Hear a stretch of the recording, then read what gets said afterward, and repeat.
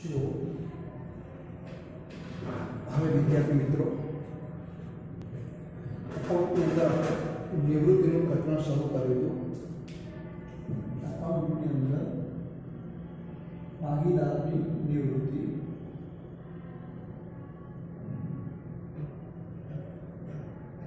એની અંદર નફા નુકસાનનું નવું પ્રમાણ, નફા નુકસાનનું નવું પ્રમાણ ગણવા માટે મેં તમને ત્રણ સૂત્ર આપેલા. પહેલું સૂત્ર આપ્યું કે જો લાભ કે લાભ વિશે કોઈ જ માહિતી આપી ન હોય, તો જે જૂનો ભાગ, એ જ નવો ભાગ સમજી લેવો. લાભ કે લાભ વિશે કોઈ જ માહિતી આપી ન હોય, તો જૂનો ભાગ, એ જ નવો ભાગ સમજવો. એના ઉપર આધારિત બે દાખલા ગણ્યા હતા બીજી બાબત આપણે જોઈ કે જો નિવૃત્ત થનાર ભાગીદાર પોતાનો લાભ જે ચાલુ ભાગીદારને આપીને જાય, તો એ ચાલુ ભાગીદારને થતો લાભ આપેલો હોય તો નવું પ્રમાણ ગણવાનું સૂત્ર હતું કે જૂનું, જૂનો ભાગ પ્લસ લાભ. એવા બે દાખલા ગણ્યા. હજુ આજે ત્રીજો દાખલો ગણીશું એટલે ત્રણ દાખલા એવા ગણીશું. અને પછી ત્રણ એવા ગણવા છે કે જેમાં લાભ ન આપે, પણ લાભનું પ્રમાણ આપે. તો એવા ત્રણ દાખલા લાભનું પ્રમાણ આપ્યો એવા ગણવા છે, ત્રણ દાખલા લાભ આપ્યો એવા ગણવા છે. એમાંથી બે ગણ્યા હતા, હજુ એક ગણાવી આપું તમને. તો જુઓ ત્યારે દાખલા નંબર ત્રીજો અને ચોથો, એ બે ગણેલા. ત્રીજો અને ચોથો જેમાં લાભ આપી દીધો હોય. હવે દાખલા નંબર છઠ્ઠો છે તે પહેલાં જોઈ લો. દાખલા નંબર છ. એમાં પણ લાભ આપી દીધો હશે. તો નંબર છ ની રકમ છે એ, એમ અને સી. પાંચ જેમ સોરી ત્રણ જેમ પાંચ જેમ બે ના પ્રમાણના ભાગીદાર. ત્રણ ભાગીદાર, જૂનું પ્રમાણ કીધું પહેલા તો. જૂનું પ્રમાણ અને ત્રણ ભાગીદાર છે એ, એમ, સી. આ એ, એમ અને સી જૂનું પ્રમાણ આપે છે ત્રણ જેમ પાંચ જેમ બે. ત્રણ જેમ પાંચ જેમ બે. તો ત્રણ ને પાંચ, આઠ ને ત્રણ દશાંશ, પાંચ દશાંશ અને બે દશાંશ. ના પ્રમાણમાં નફો નુકસાન વહેંચતા ભાગીદાર.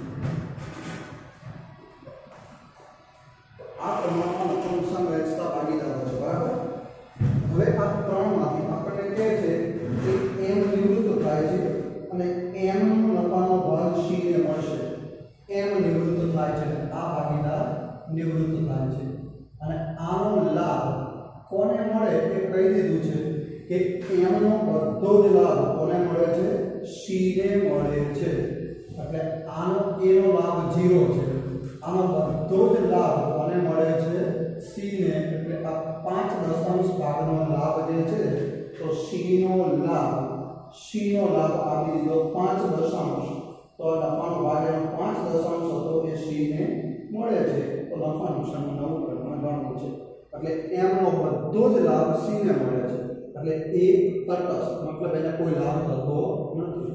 તો હવે નવો ભાગ ગણવો હોય તો નવો ભાગ ગણવાનું સૂત્ર હતું કે નવો ભાગ બરાબર, જૂનો ભાગ પ્લસ લાભ આ સૂત્રનો ઉપયોગ કરી અને આપણે પહેલા a નો નવો ભાગ ગણી લઈએ, પછી c નો.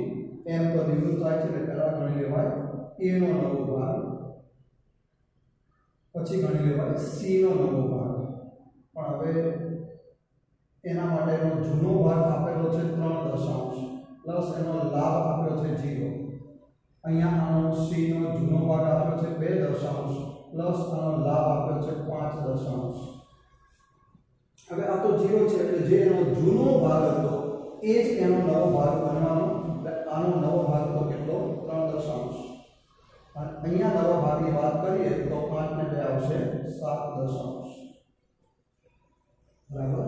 માટે a અને c નું નવું પ્રમાણ. તો નવું પ્રમાણ નવું પ્રમાણ a જેમ c a જેમ c કેટલું મળે? 3 જેમ 7 તો a અને c એનું નવું પ્રમાણ આપણે શું હોય તો નવું પ્રમાણ કેટલું આવશે? 3 જેમ 7 આવશે. હવે લાભ આપ્યો હોય એની વાત આપણે પૂરી કરીએ હવે ત્રણ દાખલા એવા જોવા છે જેમાં લાભ નહીં પણ લાભનું પ્રમાણ આપેલું હશે. લાભની જગ્યાએ શું આપેલું હશે? લાભનું પ્રમાણ. તો દાખલા નંબર દાખલા નંબર આપણે જોવો છે પાંચમો. પાંચમો, જેમાં લાભ નથી પણ લાભનું પ્રમાણ છે. તો નંબર પાંચ જુઓ. સી બી અને ડી ચારને પાંચમ ત્રણના પ્રમાણના ભાગીદાર બે નિવૃત્ત થાય છે અને ડીના પ્રમાણનો ભાગ સી અને બી બે જેમ એકના પ્રમાણમાં મેળવશે. શું કીધું છે? સી બી અને ડી ત્રણ જૂના ભાગીદારોનું જૂનું પ્રમાણ લખી દઉં પહેલાં. તો જૂનું પ્રમાણ. કોનું કોનું? તો સી બી અને ડી આ ત્રણ ભાગીદાર છે. સી બી અને ડી કયું પ્રમાણ બોલે છે? ચાર જેમ પાંચ જેમ ત્રણ. ચાર જેમ પાંચ જેમ ત્રણ. એટલે ચાર ત્રણ સાત પાંચ બાર. ચાર અપન બાર, પાંચ અપન બાર અને ત્રણ અપન બાર. હવે શું કહે છે? તો આ આપે છે એનું જૂનું પ્રમાણ.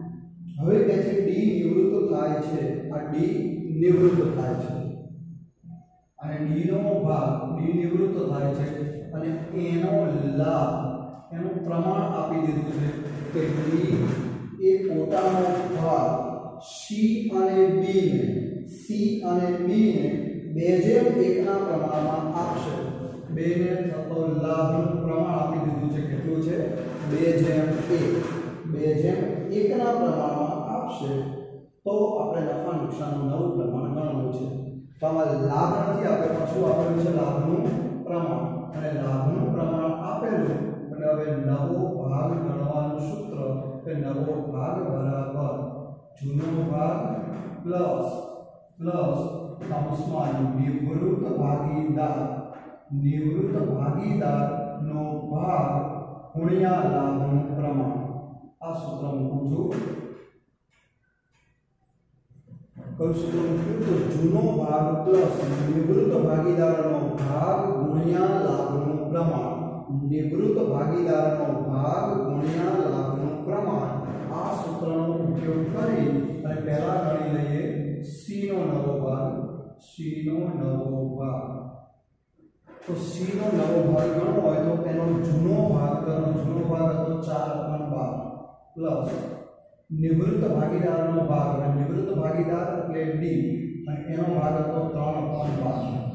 નિવૃત્ત ભાગીદારનો ભાગ હતો. ત્રણ અપન બાર ગુણ્યા એના લાભનું પ્રમાણ તો સીના લાભનું પ્રમાણ કેટલું બે તૃતીયાંશ જો શું લખ્યું, જૂનો ભાગ હતો એનો ચાર અપન બાર પ્લસ નિવૃત્ત ભાગીદાર ડીનો ભાગ હતો, ત્રણ અપન બાર ગુણ્યા એના લાભનું પ્રમાણ હતું, બે અપન ત્રણ.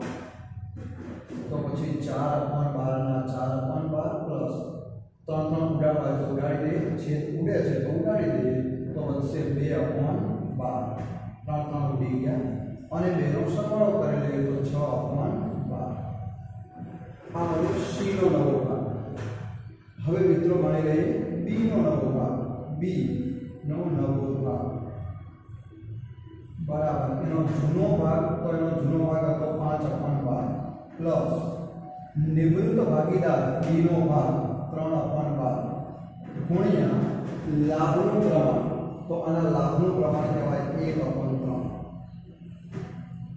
પાંચ અપન બારના પાંચ અપન બાર પ્લસ ત્રણ ત્રણ ઉડી જાય તો એક અપન બાર ત્રણ ત્રણ ઉડી ગયા તો આવશે એક અપન બાર અને બેનો સરવાળો કરેલો તો છ અપન બાર માટે બે ભાગીદારના નફા નુકસાનનું નવું પ્રમાણ તો નવું પ્રમાણ કયા બે ભાગીદાર તો નવું પ્રમાણ સી જેમ બી.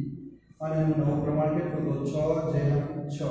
અને છ જેમ છ એનો મતલબ તેને કહેવાય એક જેમ એક. છ જેમ છ એનો મતલબ એક જેમ એક. તો હવે રીતે મિત્રો, એ પણ ગણી શકાય. હજુ લાભનો પ્રમાણ આપ્યું હોય કેવું છે? દાખલા નંબર આઠમો છે. સોરી. દાખલા નંબર સાતમો છે. સાતમો છે. પી ક્યુ આર અને એચ ચાર જેમ ત્રણ જેમ બે જેમ એકના પ્રમાણના ભાગીદાર. ક્યુ નિવૃત્ત થાય છે. ક્યુ નિવૃત્ત થાય છે. અને ક્યુ નો ભાગ આર અને એચ ને આર અને એસ ને સરખા પ્રમાણમાં મળશે. તો નફા નુકસાનનું નવું પ્રમાણ ગણવું છે. ચાર ભાગીદાર છે પી ક્યુ આર એસ ભાગેલો દાખલા નંબર કયો છે દાખલા નંબર સાતમો છે સાતમો જૂનું પ્રમાણ પણ ત્રણ ભાગીદાર છે સોરી ચાર પી ક્યુ આર અને એસ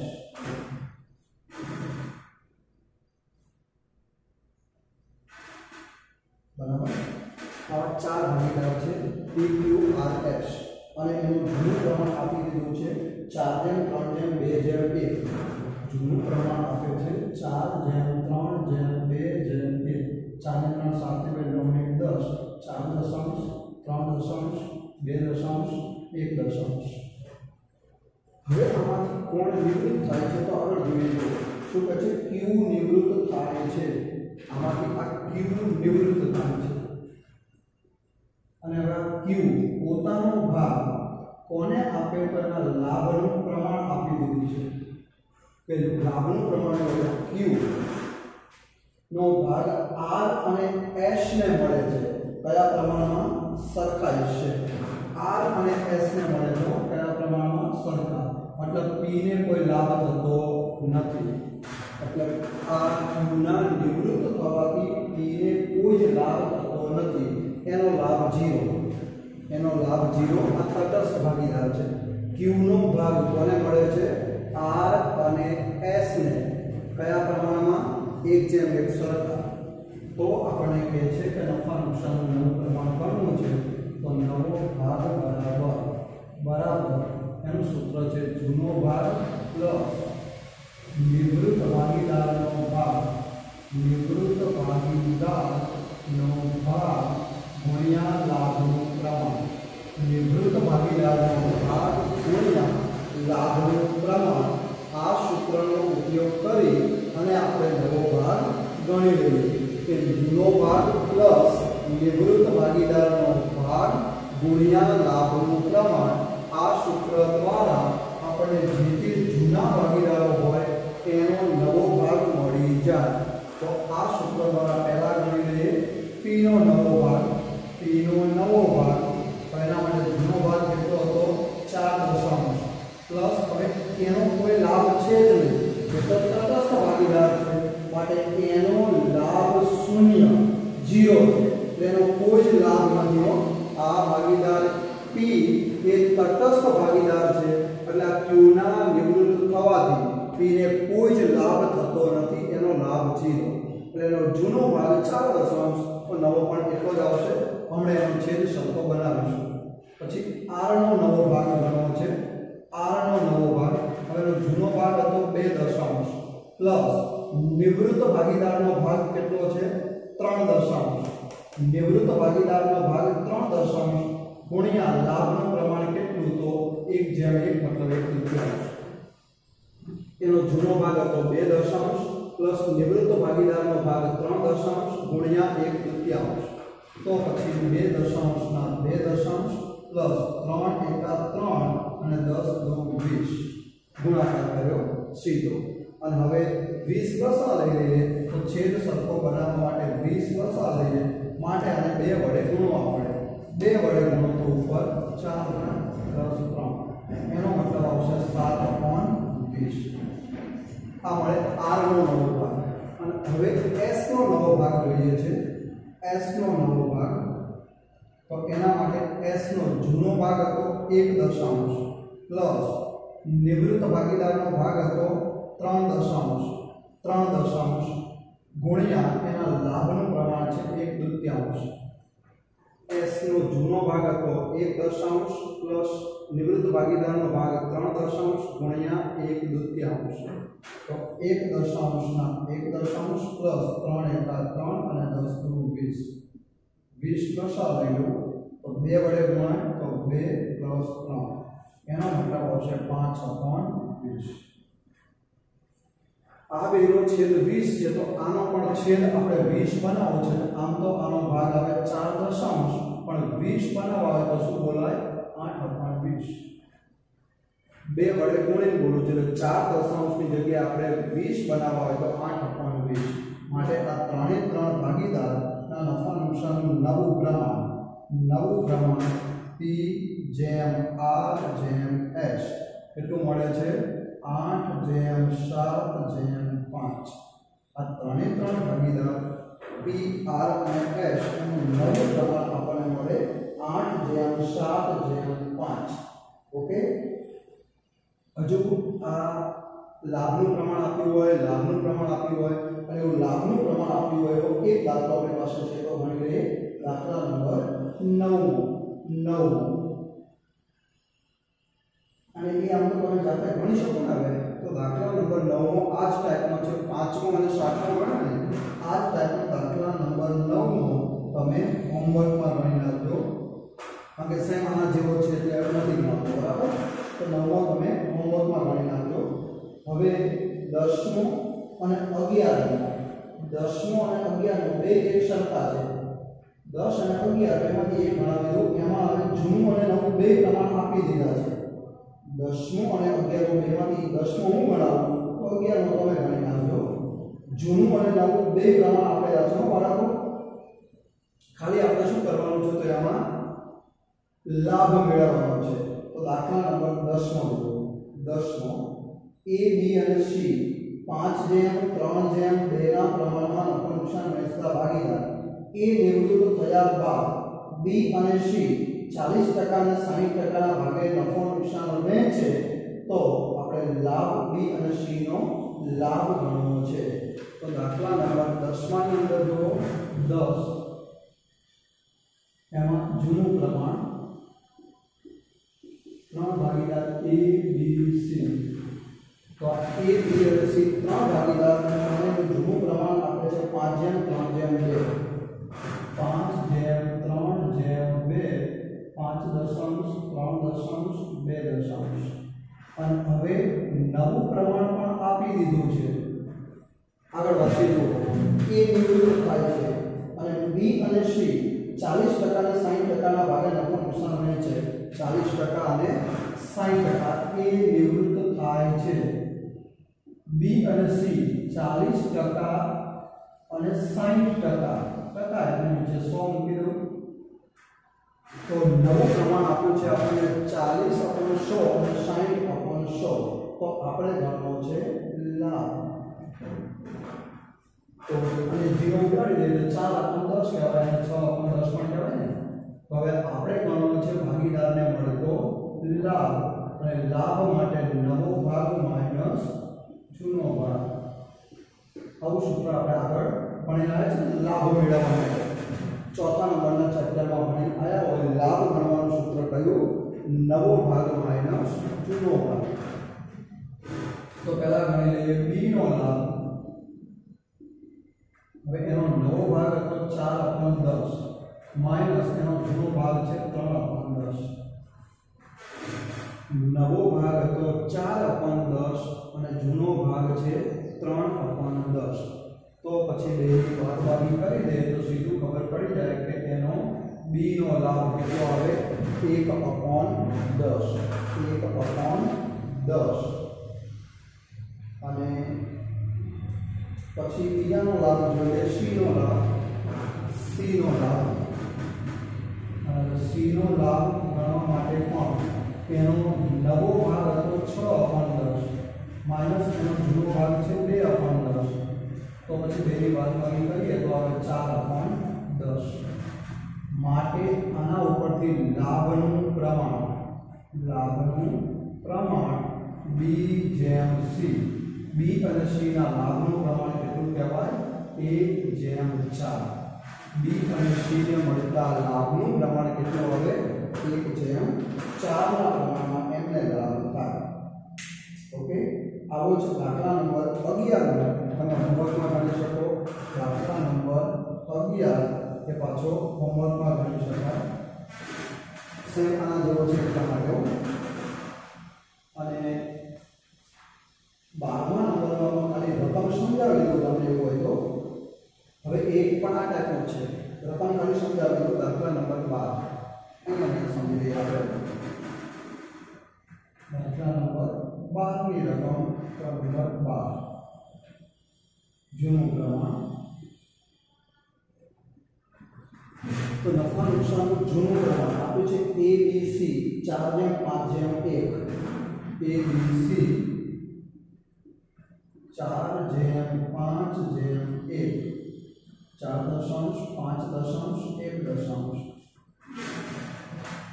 ચાર જેમ પાંચ જેમ એક હવે બી નિવૃત્ત થાય છે અને એની એક આમનોંધ નીચે પ્રમાણે આપી છે કે એના મૂડી ખાતે ઉધાર છ હજાર સીના મૂડી ખાતે ઉધાર ચાર હજાર તે બીના મૂડી ખાતે જમા દસ હજાર કોણ નિવૃત્ત થાય છે બી આ ભાગીદાર નિવૃત્ત થાય છે અને એનો લાભ એ અને સી ને જે મળે એ લાભનું પ્રમાણ તમને આપી દીધું છે કે લાભનું પ્રમાણ કેટલું આમનોંધમાં લખી આપ્યું છે જો કે બી ના મૂડી ખાતે જમા દસ હજાર એટલે બી નો ભાગ દસ હજાર એમાંથી એ ને કેટલા મળે છે છ હજાર અને સી ને કેટલા મળે છે ચાર હજાર એટલે એ અને સી ને ચાર હજાર સોરી છ હજાર અને ચાર હજાર મળે તો એ અને સી ના લાભનું પ્રમાણ કેટલું કહેવાય છ જેમ ચાર આના લાભનું પ્રમાણ કેટલું તો છ જેમ ચાર અડધા કરી દઈએ